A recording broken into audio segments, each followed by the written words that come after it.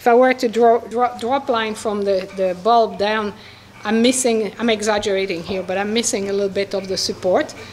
So I, I will support this with the shoe. It's exaggerated, but just to feel that, that, that area right here, okay?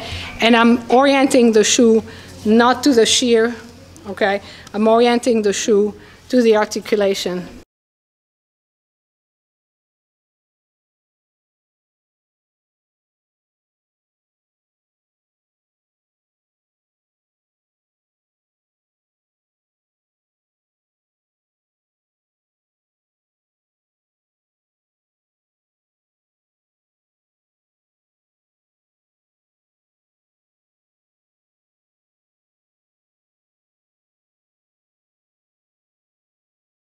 Basically, you do not, I don't want to put too much heel in the back, okay? She doesn't need that support.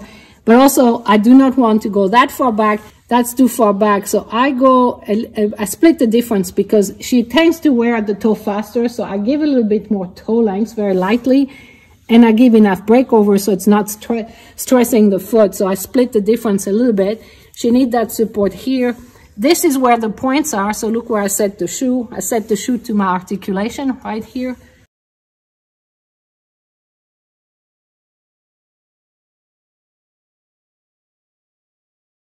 My hand goes right in here. I know I can go a little further back because it's a low foot. That's why also I made the shoe very soft at the in the front. And that's basically what I and do. what are you doing now? I'm pressing down. So to make sure, to see again, you have to make sure you have a very even, uh, even rim of glue because if you don't, what's the point of trimming beautifully? Beautifully, you're actually offsetting your nice, nice trim, okay?